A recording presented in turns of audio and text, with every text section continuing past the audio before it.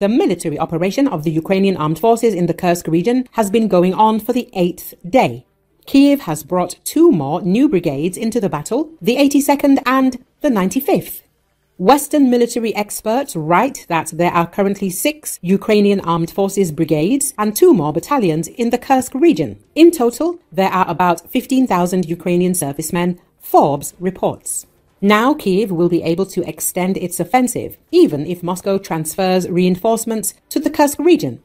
Military expert Rob Lee said Kiev had to withdraw some of its battalions from Pokrovsk, Chasiv Yar, and Toretsk. However, a statement by Kiev regarding the creation of a military administration in the Kursk region indicates that Ukraine intends to be there for a long time. Russia has deployed nine motorized airborne, and Arctic brigades, and they outnumber the Ukrainian defenders.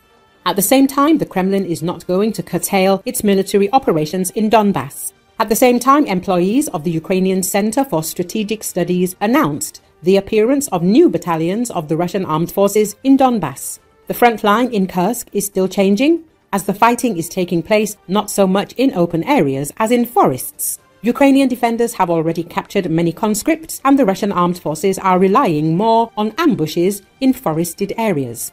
Experts write that Russia has already lost several of its aircraft in Kursk, and Ukraine has lost one MiG aircraft. To stop the advance of the Ukrainian armed forces, the Kremlin will have to transfer additional troops to the Kursk region. Serhiy Bratchuk, spokesman for the Ukrainian Volunteer Army South, reveals what troops Russia is likely to have moved from southern Ukraine to the Kursk region and whether this is felt at the front. It hasn't made a drastic impact yet, and it's not something that happens overnight. We understand and see this. Regarding the Kursk region, their North Troop Group is stationed there, attempting to counter Ukrainian forces using internal reserves, possibly setting up the first and even a second defense line. As for the units moved towards Kursk from the south, we suspect these might be airborne troops from the Kherson area, though I stress this information needs verification. Russian troops are constantly shifting in this region, maybe up to two battalions, but that's probably the most we can confirm at this point, Bratchuk stated. Additionally, he noted that the Russians might have redeployed some of their troops from the Zaporizhia region.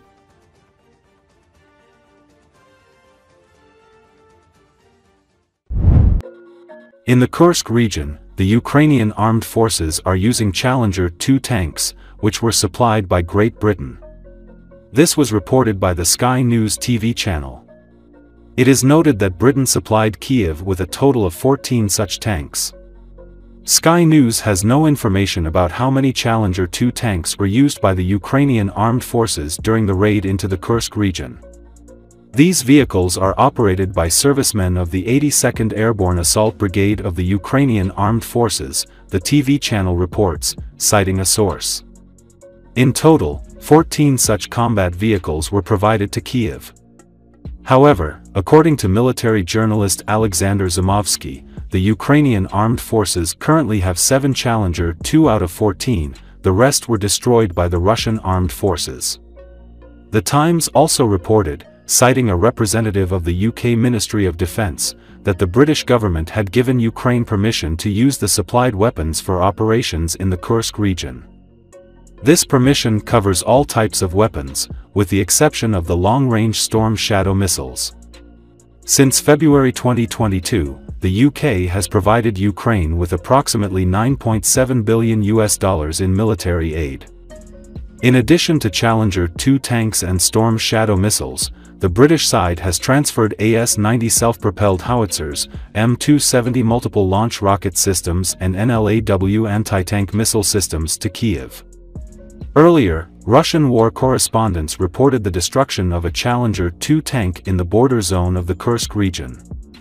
The strike was carried out using a Lancet 3 kamikaze drone, which led to the detonation of the tank's ammunition.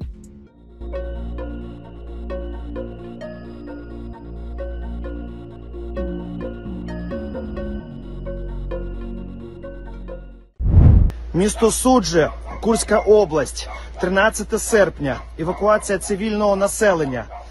Заявки приймаються в Дірект соцмереж Instagram, TikTok або кожен вторник, четвер, суботу о 10 ранку зустрічаємо людей, забираємо людей з магазину Лукошка, що в центрі міста Судже.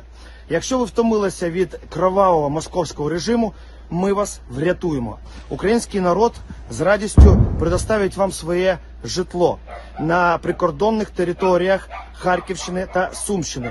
Звісно, якщо е, ще їхні будинки не зруйнувала російська артилерія.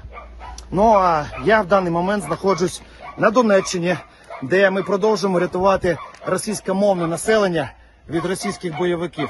Прикинь.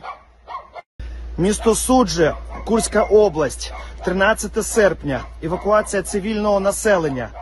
Е, Заявки приймаються е, в Дірект соцмереж Instagram, TikTok або кожен вторник, четвер, суботу о 10 ранку зустрічаємо людей, забираємо людей з магазину Лукошка, що в центрі міста Судже.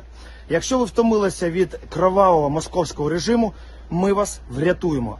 Український народ з радістю предоставить вам своє житло на прикордонних територіях Харківщини та Сумщини. Звісно, якщо е, ще їхні будинки не зруйнувала російська артилерія. Ну а я в даний момент знаходжусь на Донеччині, де ми продовжуємо рятувати російськомовне населення від російських бойовиків. Прикинь.